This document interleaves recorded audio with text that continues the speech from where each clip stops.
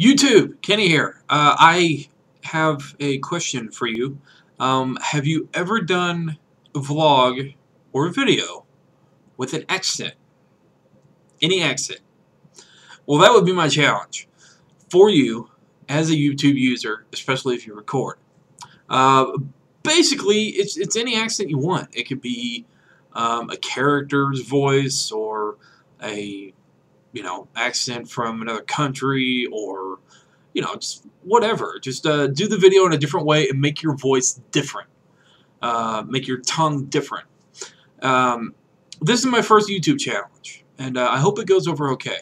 Uh, if you do do it, be sure to link your video down in the comments below.